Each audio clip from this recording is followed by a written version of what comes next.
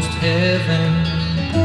West Virginia, West Virginia, West Virginia, West Virginia.